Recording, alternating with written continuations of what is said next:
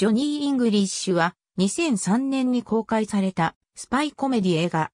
007シリーズなどのスパイアクション映画を下地にしてパロディを盛り込んだ作品で、同シリーズの制作スタッフも制作に携わっている。続編として2011年にジョニー・イングリッシュ気休めの報酬、2018年にジョニー・イングリッシュアナログの逆襲が公開された。イギリスの諜報機関 MI7に所属するジョニー・イングリッシュはエースエージェントを夢見る事務員だった。イングリッシュのミスでトップエージェントのエージェント1号が死んでしまい、さらにエージェント1号の葬儀でイングリッシュが警備を怠ったため、参列したエージェントが全員爆殺されてしまう。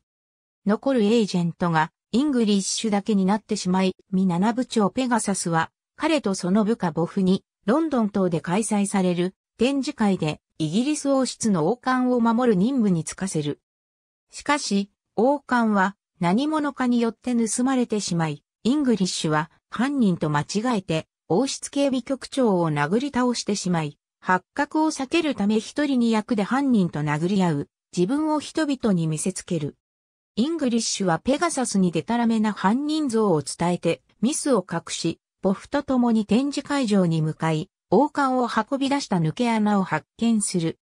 抜け穴をたどったイングリッシュは、二人組の犯人を発見して、追跡を始めるが、途中で追跡相手と霊柩車を取り違え、ブロンプトン霊園の埋葬現場で葬儀の参列者を犯人だと思い込んでしまう。追いついたボフはイングリッシュに間違いを伝え、彼を病院から脱走した精神病患者に仕立て上げ、気まずい空気に包まれた墓地からイングリッシュを連れ出す。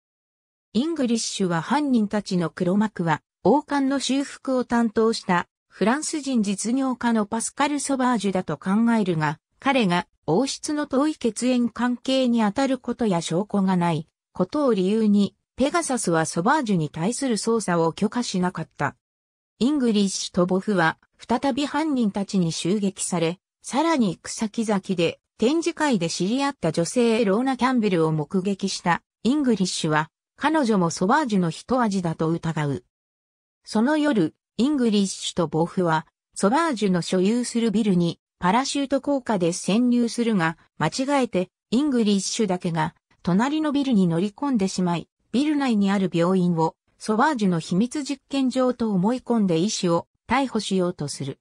隣のビルからボフが間違いを指摘すると、イングリッシュは警備訓練の一環とごまかし、急いでソバージュのビルに向かう。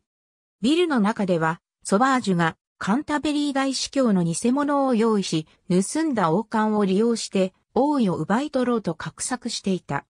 イングリッシュはビルの中でローナと出くわし、彼女は自分の正体をインターポールの捜査官だと明かし、ソバージュの陰謀を操作していたことを告げる。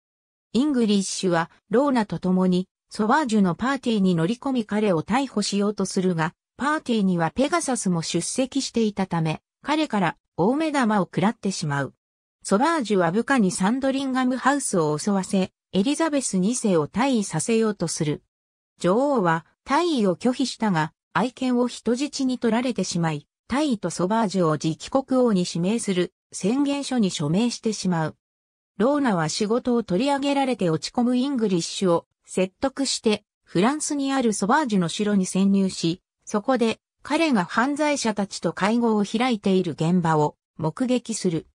ソバージュは国王に即位した後に、グレートブリテン島を巨大な刑務所にして、利益を得て、自身が経営している刑務所の囚人たちを監守にする計画を披露する。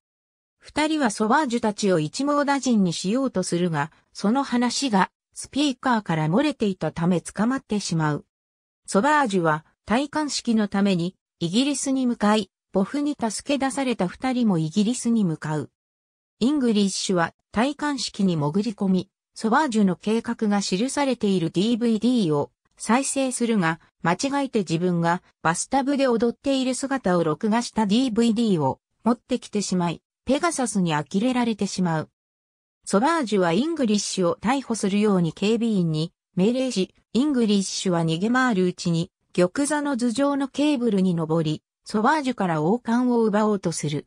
ソバージュはイングリッシュを銃撃するが、その拍子にケーブルが切れて、イングリッシュが玉座に落ちてきてしまい、王冠も彼の頭上に収まる。あっけに取られる周囲をよそに、イングリッシュは国王としてソバージュを逮捕するように命令し、事件は解決する。イングリッシュはナイトに叙爵され、ローナを連れてフランス南部に休暇に出かける。イングリッシュはローナと車の中で良いムードとなり、ワインを取り出そうとするが、間違えて脱出ボタンを押してしまい、ローナは座席ごと空中に飛び出して、ホテルのプールに落ちてしまう。ローナがイングリッシュに向かって叫ぶ中、彼は驚愕の表情を浮かべる。またその際、イングリッシュがペガサスに伝えたデタラメの犯人と全く同じ人物がプールサイドにいるシーンがある。2000年3月、ローワン・アトキンソンが007シリーズのパロディ映画の出演契約を結んだことが報じられた。アトキンソンが演じる主人公、ジョニー・イングリッシュは彼がバークレイカードの広告キャラクターとして演じていたリチャード・レイサムがモデルとなっている。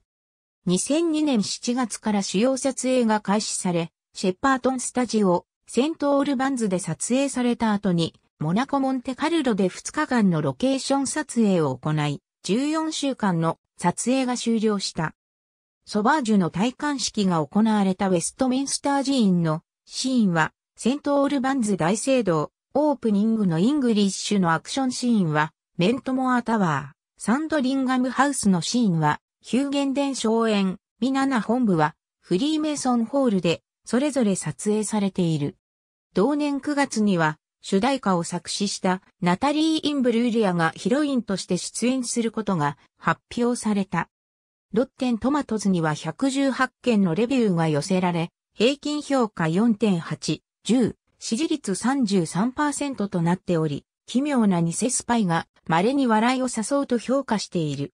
メタクレティックでは32人の批評家によって51、100点のスコアが付けられ、シンネマスコーでは B 評価となっている。ありがとうございます。